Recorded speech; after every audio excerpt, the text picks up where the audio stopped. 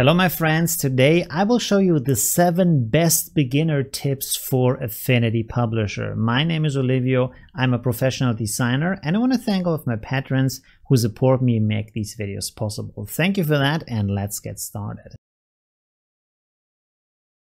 I will go over here and search for dog and here we have our happy dog. I will just click and drag to add it to the background of my page and happy dog running wild.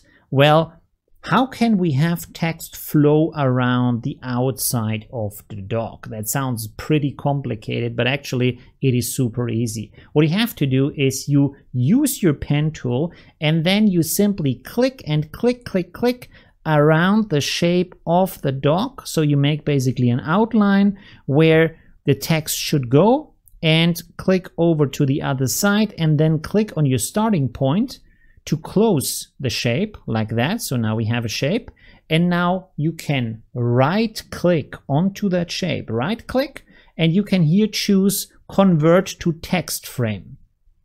And now it's a text frame, it's easy as that. So right click again and say insert filler text and boom, there we go. You have your text. Let's make the text white and you can see flows around the doc very beautifully, very nice. One thing you need to look out for is, of course, now because of the line, we have a black line here and that doesn't look good. You need to fix that. So how do you fix that? And this is, by the way, the next tip for beginners. Click again on the text box and then on the right here, you have text frame. So click on this little icon text frame and here you have a lot of settings. One is the fill color, one is stroke color. So because we had a black line here, you want to fix the stroke color. In this case, we want to click and then click on this white circle with the red line, which means there is no fill color for or no stroke color in this case. So as you can see, now it's gone and the text is uh, flowing beautifully around our doc. Next trick I want to show you is the fill color. And you can click here. We are still in the text frame settings. You can select any color you want here. So you can see uh, as a background color. That is pretty cool. And of course, you can select then when you have this open with the color down here, it says opacity. So click on that and reduce the opacity and you can see that the background will be more translucent you so you can actually see what's going on behind it. Of course, in this case, it doesn't look good. You mostly want to use it on nice text boxes actually. Over here, you have, uh, sorry, down here, you have a picture frame rectangle tool and below that you have a picture frame ellipse tool. And you can select this and then click and drag and this will create a frame for a picture. So now when I click and drag my dog again, it will be filled inside of that picture frame like that. And as you can see, Affinity Publisher tries to fill it in the best way possible, zoom it in there. Now, the cool thing here is when you resize the shape of your picture frame, Affinity Photo will continually try to fill in the picture so it fits the best way possible. Of course, you can adjust this on your own. For example, you have here in the middle these three arrows, so you can click on that and drag the picture. For example, if you want to have the dog more in the center of the picture or more outside of the picture, you can do that. Then you have up here one for rotation, like that. You can do that too. And down here you have one for zooming.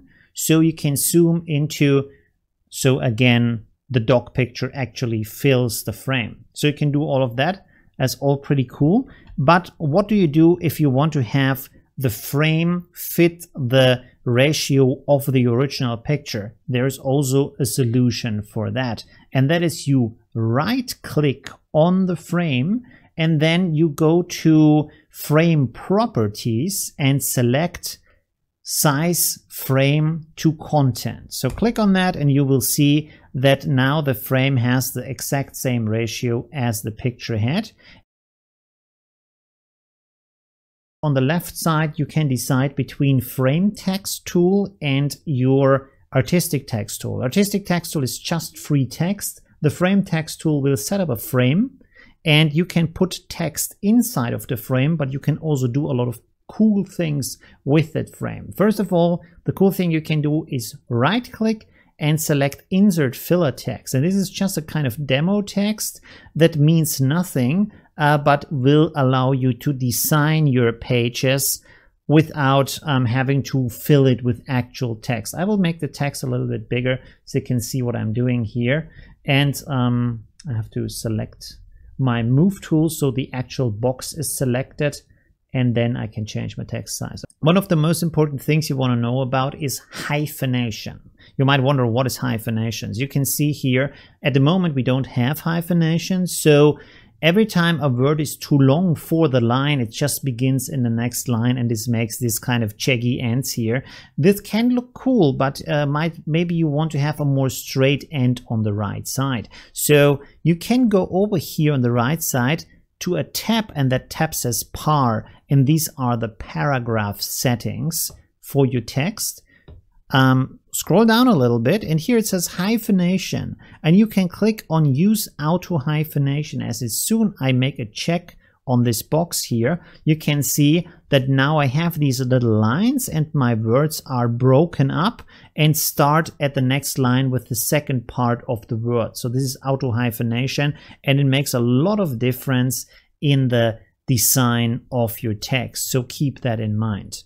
Another thing that is important for text is how you can have text flow around objects. I will make a shape like an ellipse here, but just draw it here. And the important thing to remember now is that if you set up a text that should flow around the object, you have to set the flow not for the text, but for the object. That can be confusing for beginners. So with that selected, with your object selected, up here you see these three symbols. On the left one, it says Show Text Warp Settings. So click on this symbol and it opens a little window and it gives you different choices on how the text should warp around the object. So for example, you have jump, and that simply means that the text makes a jump, so there's no text next to it. It's not really warping, it's jumping over the object doesn't look that good. I wouldn't choose that. The next one is square. And this makes a square, but you can see here that we have a round shape. So we have some free areas here that could be filled with text. So we have tight and this flows like that. Now, if you think that the text is too tight, you have down here the, uh, the possibility to set up distance from text and you can set this for left, top, right, and bottom, how much distance you want between the text and the shape. Okay, and of course there's a warp 2, both sides or largest side, so check out these settings, play around with them. When you create a new document up here, File New, it's opens this window and you make your settings and then it says margins and bleed and you might not know what that is. So the margin is the distance from the edge of the page inside to the paper.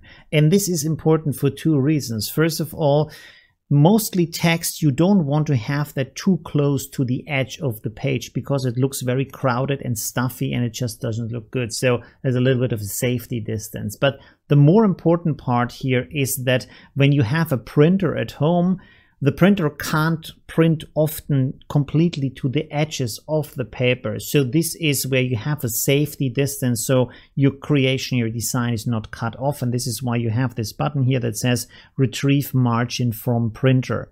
This is where the printer can't print on the paper. The bleed, on the other hand, is when you send the file out to a professional printing company and they have to cut the paper somewhere because it is printed with a lot of other prints on the same bigger sheet and they have a safety area on your paper that is bigger than the product that you will receive and this is where they cut. So you ask them what is the bleed you want me to set up in my document? Up here in document settings when you click in the third line it says image placement policy Sounds a little bit like legal stuff, but it really is not. You want to decide if you prefer your images or your media in the document linked or embedded. The difference is if you have a document, for example, with a lot of pages, and when you print, they have to be high resolution, the document can be really huge, like multiple gigabytes. So in that case, you probably want to link the media. So they are just displayed in Affinity Publisher at the right position, but actually they are not sitting inside of the document, but rather in a folder on your desktop. But in that case, you have to make sure that all the media you require for this document is in the same folder and not spread over all of your hard drive because you have to send these documents, these files with the publisher file if you want someone else to work on it. These have been all the tricks for today. I hope you enjoyed them. Give me a thumbs up if you like them and suggest other things you want to see and know about Affinity Publisher in the comments. Thank you very much. See you in the next video. Bye.